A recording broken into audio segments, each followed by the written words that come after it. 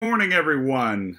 It is Thursday, December 17th, and it is Thankful Thursday Daily Devotion. Uh, I'm going to start off by reading Psalm 29. It's a little longer, but I really liked it, so I'm going to read the whole thing. Ascribe to the Lord, you heavenly beings. Ascribe to the Lord glory and strength. Ascribe to the Lord the glory due his name. Worship the Lord in the splendor of his holiness.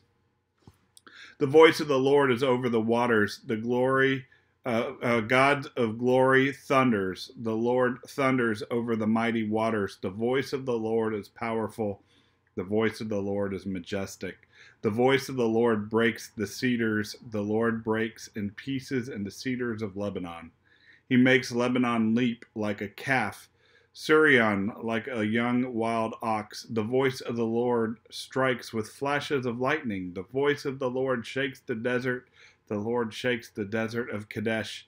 The voice of the Lord twists the oaks and strips the forest bare. And in his temple all cry, Glory! The Lord sits enthroned over the water. The Lord is enthroned as king forever. The Lord gives strength to his people. The Lord blesses his people with peace.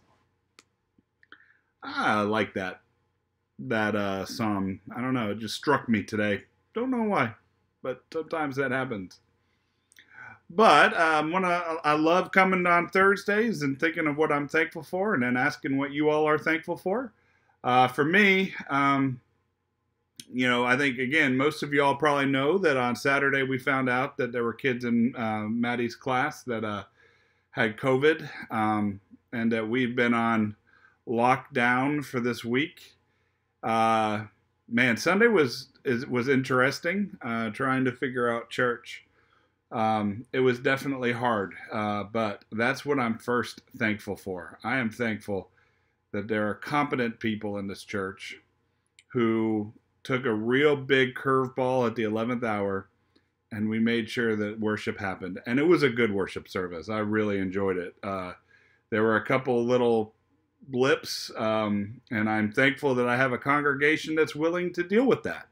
Um, but I'll tell you, we got it out, and I'm so thankful for that. Uh, I was so thankful for everyone involved in the service um, who were willing to to deal with the fact that the pastor was stuck at home and trying to figure out how to zoom their uh, parts of the service in and be live with everybody.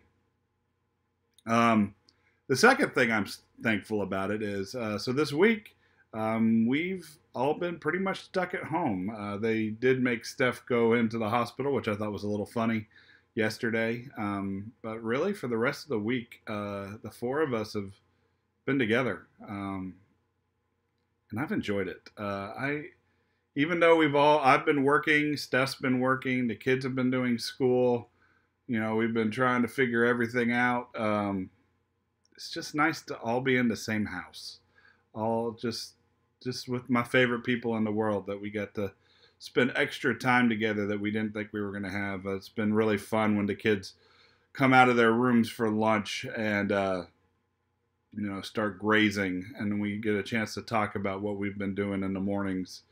Um, it's it's just a, a, time I wouldn't have had, and and uh, as my kids keep getting taller I, and older, I guess both uh, you know, it's times I'll never have back, and I'm really, really thankful for this unexpected week together.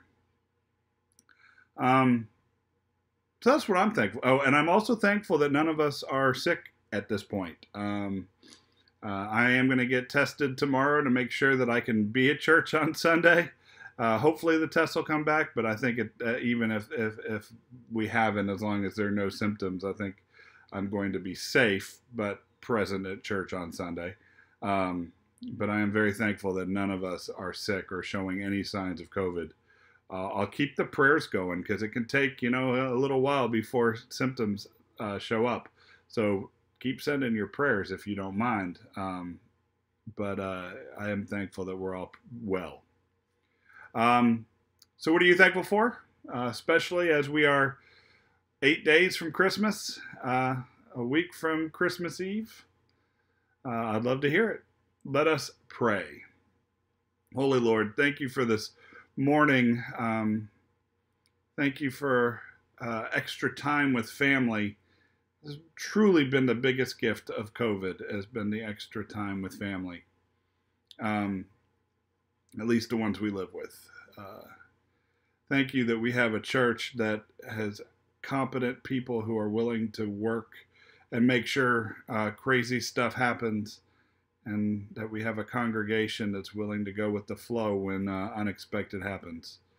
Uh, Lord, I lift up all the Thanksgiving uh, uh, for all the people who are watching this, um, and I, I, I think I, I join them in gratitude and thanksgiving. Holy One, we ask this in your name. Amen.